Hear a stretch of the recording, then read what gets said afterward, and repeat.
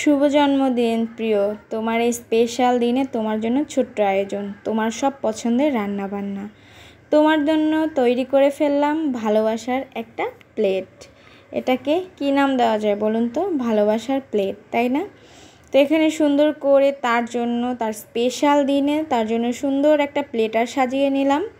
যাতে করে সে দেখে অনেক বেশি হ্যাপি হয়ে যায়। আজকে তার জন্য একটা সারপ্রাইজিং একটা ডের আয়োজন করেছি। তো যাই হোক, ভালোবাসার প্লেটটা দিয়ে দিলাম। সে পেয়ে তো মহা খুশি। তো চলুন আজকে তার জন্য একটু সারপ্রাইজের আয়োজন করি।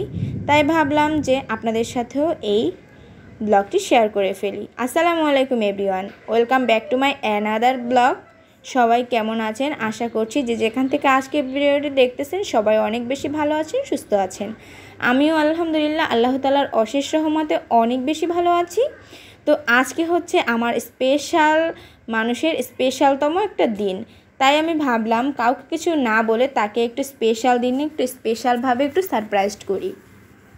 আজকে হচ্ছে, এটা হচ্ছে মানে চৌঠা অক্টোবর। তো এটা হচ্ছে চারই অক্টোবর। আমার হাজব্যান্ডের যেহেতু পাঁচই অক্টোবর ওর বার্থডে, তাই ভাবলাম যে আজকে চার তারিখ আমি একটু বাহিরে চলে যাই, গিয়ে ওর জন্য একটা কেক নিয়ে আসি। তো তুবামণিকে ওর বন্ধুর বাসায় রেখে আমি চলে যাচ্ছি কেক আনতে। এটা কিন্তু ও কিছুই জানে না তার কোনো আইডিয়াই ছিল না যে আমি নতুন শহরে এসেও তার জন্য এত সুন্দর একটা আয়োজন করব। যাই হোক, আমি সন্ধ্যা নাগাদ চলে আসছি। তো দেখতে পাচ্ছেন, রিক্সা নিয়ে চলে আসছি। হালকা হালকা বৃষ্টিও পড়তেছিল। তো এখানে হট কেক নামে একটা মানে শপ আছে। এই শপে আমি গিয়েছিলাম এখান থেকে কেক দেখার জন্য। তো এই তো চলে আসছি ভিতরে। আসার পরে এখানে অনেক ধরনের ভ্যারাইটিস কেক ছিল। তো আমরা যেহেতু মানুষ তিনজন, তাই ছোট একটা কেক আমি দেখতেছিলাম। তো আমার মেয়ের যেহেতু চকলেট ফ্লেভার পছন্দ, আমার হচ্ছে ভ্যানিলা ফ্লেভার পছন্দ। তো মেয়ের পছন্দই নিয়ে নিলাম। তো চকলেট ফ্লেভারটা ভাইয়া বের করো। তারপর আমি বললাম যে ভ্যানিলা ফ্লেভারটাও একটু বের করেন। তো ফাইনালি আমি কোন কেকটা নিচ্ছি আপনাদের সাথে শেয়ার করি। ফাইনালি আমি ফাইনালি আমি এই ব্ল্যাক ফরেস্ট কেকটা নিয়ে নিলাম। তো এখানে ভাইয়া এখন ডিটেলসে লিখে দিচ্ছিল হ্যাপি বার্থডে টু ইউ তো কী লিখেছি সেটা গিয়ে আপনাদের বাসায় শেয়ার করব। তো অলরেডি প্যাক করে দিয়ে দিয়েছে আর আমি সাথে কিন্তু একটা মোমো নিয়ে নিয়েছি। এখানে বেলুন টেলুন কিছুই নিব না, কারণ হচ্ছে তাহলে আপনাদের ভাইয়াকে সারপ্রাইজটা দেওয়াই হবে না, সে অলরেডি বুঝে যাবে। সারপ্রাইজ যেহেতু, তাই একটু ভাবলাম যে একদম মানে হালকা পাতলার মধ্যেই করে ফেলি। তো এই তো তো এখন আবারও আমি কেকটা নিয়ে বাসার উদ্দেশ্যে রওনা হয়ে হচ্ছি, যেহেতু তুবামণিকে বাসায় রেখে আসছি। তো স্পেশাল মানুষকে এভাবে ছোট্ট ছোট্ট স্পেশাল সারপ্রাইজ দিয়ে কিন্তু অনেক বেশি খুশি করা যায়। জীবনে হ্যাপি থাকতে হলে আসলে অনেক টাকা পয়সার অনেক সম্পদের দরকার নেই। জীবনে হ্যাপি থাকতে হলে এই ছোটো ছোটো মুহূর্তগুলোকে একটু সেলিব্রেশন করার মাধ্যমেই কিন্তু হ্যাপি থাকা যায়, তাই না? আর সব হাজব্যান্ডরা তো সবসময় আমাদেরকে দিয়েই থাকে। তো তারাও কিন্তু আমাদের কাছ থেকে কিছু মানে আশা করে। তো দেখতে পাচ্ছেন, বৃষ্টি হয়েছে। বৃষ্টির কারণে রাস্তাঘাট একদমই মানে পানিতে কাদা কাদা হয়ে গিয়েছে। তো অলরেডি চলে আসছি, বাসায় এখন সিঁড়ি দিয়ে উঠে যাচ্ছি। গিয়ে এখন বাসায় আপনাদের সাথে শেয়ার করব কেকটার উপরে আমি কি লিখেছি। আর আমি কি আদৌ আজকে আপনাদের ভাইয়াকে সারপ্রাইজ দিতে পারব? এটাই হচ্ছে আমার মানে মনের মনে ধারণা। তো এই তো দেখতে পাচ্ছেন, একটা মোম নিয়ে আসছি। লাল যেহেতু আমার সবসময় পছন্দ, লাল কালারের একটা মানে এটাকে কি বাতি বলে সেটা নিয়ে আসছি। তো ফাইনালি এটা হচ্ছে এইচবিডি যেহেতু ছোট কেক, আমরা তিনজন প্রথমেই বলেছি, তাই হ্যাপি বার্থডে টু তুবার পাপা। তো যাই হোক, এখন আমি কেকটাকে সুন্দর করে ফ্রিজের মধ্যে রেখে দিব। কারণ এখন যেহেতু সন্ধ্যা, তো আমি চেষ্টা করব ওকে বারোটা এক মিনিটেই সারপ্রাইজটা দেওয়ার জন্য। তো ফ্রিজে রেখে দিলাম, ঠিক বারোটা এক মিনিটে আমি কিন্তু এখানে চলে আসছি। রুমের মধ্যে রুমের মধ্যে আপনাদের ভাইয়া এখানে আর কি বসা ছিল, তোকে আমি বললাম রুমটাকে ক্লিন করব। এটা বলে ওকে রুমের মধ্যে পাঠিয়ে দিয়েছি। তারপর আমি ছোট্ট এই টেবিলটার মধ্যে সুন্দর করে একটা চাকু, একটা মানে ম্যাচ লাইট আর একটা কেক দিয়ে সুন্দর করে সাজিয়ে নিলাম। তো দেখতেই পাচ্ছেন সে এসে দেখে তো সুন্দর একটা হাসি দিয়ে দিল। আপনারা দেখেই নিশ্চয়ই বুঝতে পারতেছেন। এই হাসিটার মূল্য কিন্তু কোটি টাকার থেকেও বেশি। যাই হোক দেখেন আমার মেয়ে কি কি ভাবছ তুমি আম্মু? তাই নাকি? তুমি এক্সাইটেড সারপ্রাইজ হয়ে গেছো?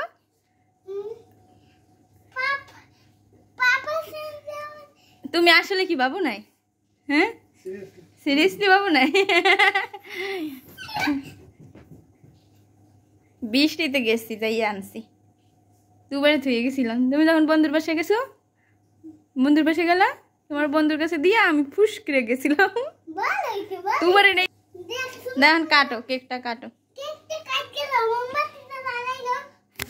তো যাই হোক, আপনারা কিন্তু এই রিয়েল ভয়েসটা রাখার কারণ আপনারা দেখতে পাচ্ছেন আপনাদের ভাইয়া কতটা হ্যাপি আর আমার তুবা পাখিও বুঝতে পারিনি, কারণ আমরা ঘুমাতে চলে গিয়েছিলাম।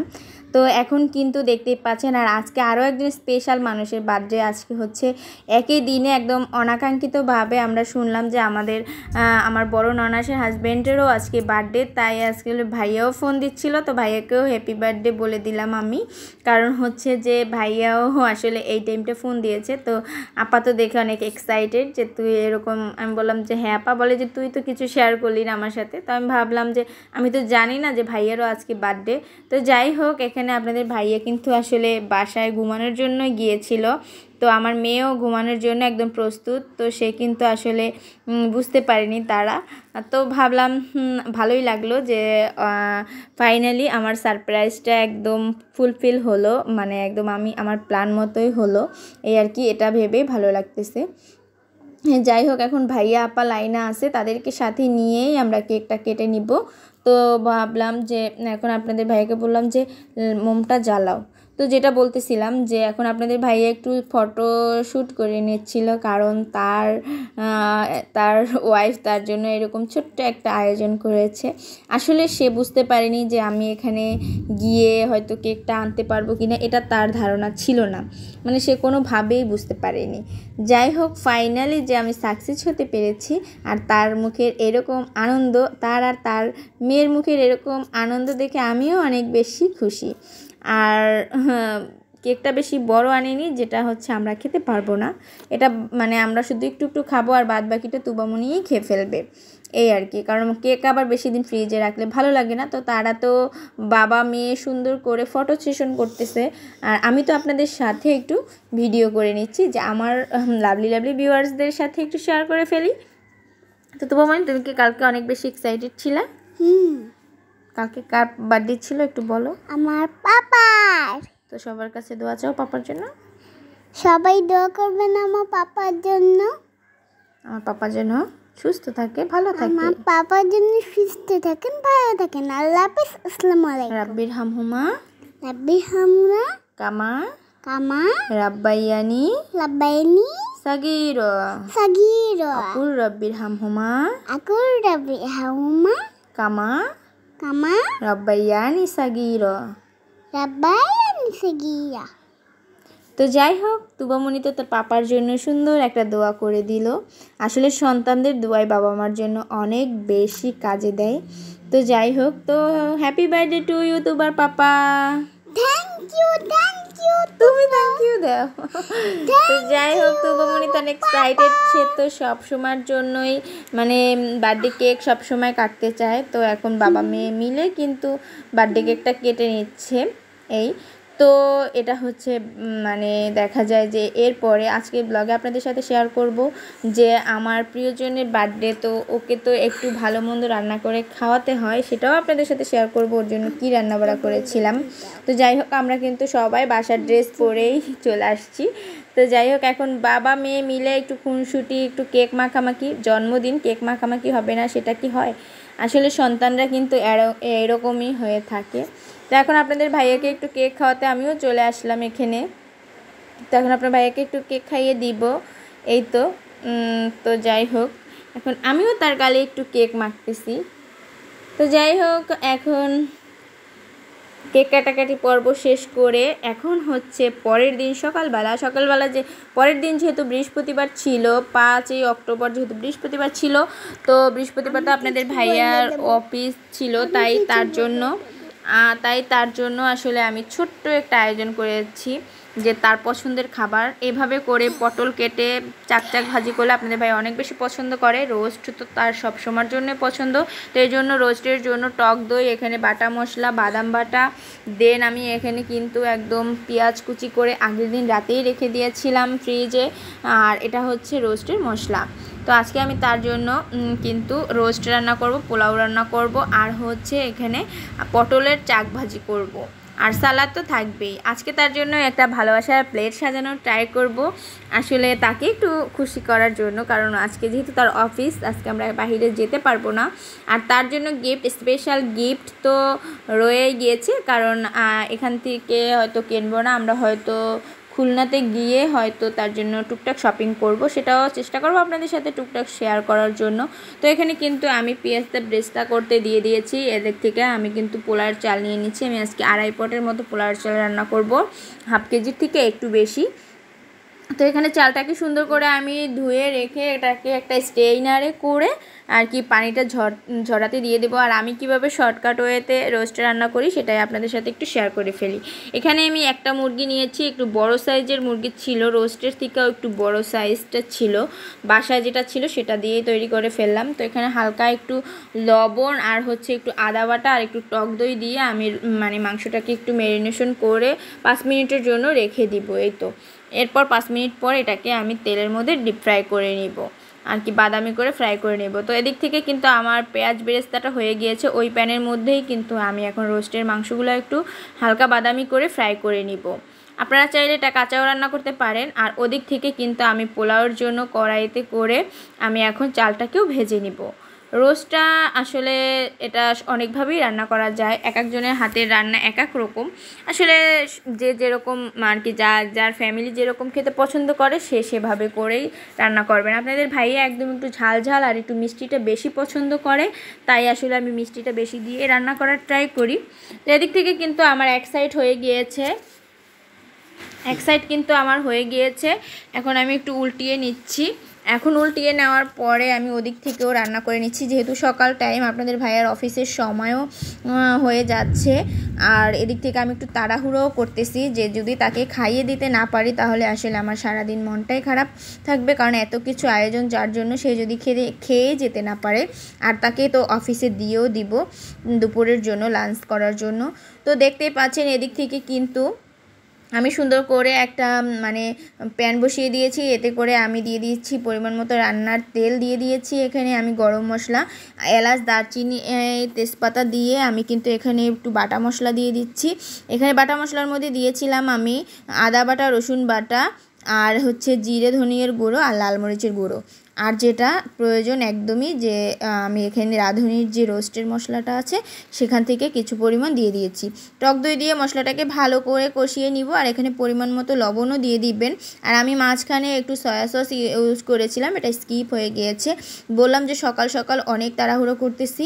তারপরও ভাবলাম আপনাদের সাথে আমার স্পেশাল, মানুষের স্পেশাল দিনে তার জন্য কি আয়োজন করলাম, সেটাও একটু আপনাদের সাথে শেয়ার করি। তো ওদিক থেকে মশলাটা কষানো হচ্ছে রোস্টের জন্য, আর ওদিক থেকে কিন্তু আমি রোস্ট ভাজা যে প্যান, এই প্যানটার মধ্যে আমি এখানে সুন্দর করে পটলের চাকগুলি দিয়ে দিচ্ছি। আর পটলের মধ্যে আমি এখানে দিয়ে দিয়েছি একটু বাটা মশলা, একটু রসুন বাটা, একটু আদা বাটা, আর স্বাদ মতো লবণ আর গুঁড়ো মরিচ, হলুদের গুঁড়ো আর হচ্ছে দিয়া ধনের গুঁড়ো। সব মশলা দিয়ে আমি সুন্দর করে এটাকে ম্যারিনেশন করে, আমি সুন্দর করে এটাকে হালকা আছে ডিপ ফ্রাই করে নিব। একটু পোড়া পোড়াভাবে ফ্রাই করব, যাতে করে এটাকে এটা থেকে একটু স্মোকি ফ্লেভার আসে। আর এটার সাথে কিন্তু পটলের ভাজার সাথে কিন্তু পোলাওটা খেতে অনেক বেশি মানে ভালো লাগে। আর আমার মেয়ে তো অনেক বেশি পছন্দও করে। তো এদিক থেকে মশলাটা কষানোর পরে কিন্তু আমি এখানে রোস্টের পিসগুলিও দিয়ে দিয়েছি। আর আমি এখানে কিন্তু একটা মুরগি সব কিছুই নিয়ে নিয়েছি। পা মানে মুরগির পাকনা থেকে শুরু করে পা সব কিছুই নিয়ে নিয়েছি। আসলে আপনারা হয়তো অনেকে ভাবতে পারেন যে মুরগির পাখনা পা এগুলো নিয়েছে। আসলে একটা মুরগির এই দুই একটা পার্ট থাকলে এগুলো আর খাওয়া হয় না। তাই ভাবলাম যে এটার মধ্যে দিয়ে দিই। নিজেরা নিজেরাই তো খাব। তো যাই হোক, এদিক থেকে কিন্তু কষিয়ে সুন্দর করে আমি ঝোলের পানি দিয়ে দিয়েছি। ঝোল দিয়ে এখানে কিন্তু আমি এখন পেঁয়াজ বেরেস্তার সাথে কিছু পরিমাণ আর কি চিনি, এটা একসাথে দিয়ে দিয়েছি একটু মিষ্টি মিষ্টি লাগার জন্য, আর কয়েকটা, চার পাঁচটা হাতে গোনা চার পাঁচটা কাঁচামরিচ দিয়ে দিচ্ছি শুধুমাত্র ফ্লেভারের জন্য। হতে থাক ওদিক থেকে, এদিক থেকে পটলটাও আমার ভাজি করা হয়ে গিয়েছে। আর এদিক থেকে কিন্তু পোলাওটাও আমি সুন্দর করে ভেজে আমি রাইস কুকারের মধ্যে বসিয়ে দিয়েছি। আর পোলাওটা কতটা ঝরঝরে হয়েছে নিয়ে দেখেই নিশ্চয়ই বুঝতে পারতেছেন। রান্নাগুলি একদম পারফেক্ট হয়েছে। এখন কাঁচামরিচ পেঁয়াজের মধ্যে আমি কিন্তু পটলটা সুন্দর করে ভাজি করে নিয়েছি, পোড়া পোড়া পটল ভাজা। আর এখানে হচ্ছে একদম গ্রেভি রোস্ট। এটা ইয়াম্মি, একটু ঝাল ঝাল, মিষ্টি মিষ্টি। এই রোস্টটাই আমাদের বাসায় সবাই পছন্দ করে। আর হচ্ছে প্লেন পোলাও, সাদা পোলাও যেটাকে বলে। এটাই হচ্ছে আমার হাজব্যান্ডের অনেক বেশি পছন্দের একটি খাবার। তাই ভাবলাম তার পছন্দ, তার স্পেশাল দিনে তার জন্য একটু স্পেশালভাবে রান্না করি। আর এটা তার জন্য অনেক দিক থেকে কিন্তু আমি আবার সার্ভ করে নিয়েছি তার অফিসের জন্য। অফিসেও সুন্দর করে এভাবে করে তিনটা পটলের চাক ভাজা আর এক পিস রোস্ট আর হচ্ছে এখানে দিয়ে দিচ্ছি আমি পোলাও, প্লেন পোলাও। এটা হচ্ছে তার দুপুরের লাঞ্চ। তো তার জন্য একটা স্পেশাল একটা প্লেটের মানে প্লেট সাজিয়ে নিয়েছি আমি। দেখি হ্যাঁ সে দেখে কেমন খুশি হয়, এটা সে জানে না। সে কিন্তু শাওয়ার নিতে গিয়েছে ফ্রেশ ট্রেশ হয়ে রেডি হয়ে সে খেতে বসবে। তার আগেই আমি একটু সুন্দর করে এখানে লেবু আর টমেটো, কাঁচামরিচ কাঁচা পেঁয়াজ দিয়ে সুন্দর করে সরিষার তেল দিয়ে আমি একটা সালাদ করে নিয়েছি। তো ফাইনালি কিন্তু তার খাওয়ার টাইম চলে আসছে আর খেয়ে দেখেন, তার এক্সপ্রেশন পটল ভাজিটা দিয়ে খেয়েছে, তার অনেক বেশি পছন্দ হয়েছে। দেখে আপনারা বুঝতে পারতেছেন। তো যাই হোক, আপনাদের কাছ থেকেও বিদায় নিয়ে নিব। সবাই ভালো থাকেন, সুস্থ থাকেন আর স্পেশাল দিনে স্পেশাল মানুষকে অনেক অনেকভাবে সারপ্রাইজ করেন। আর আমার হাজব্যান্ডের জন্য সবাই দোয়া করবেন, ওকে যেন আল্লাহ তালা দীর্ঘায়ু কামনা করে। আজকের মতো বিদায়, আল্লাহ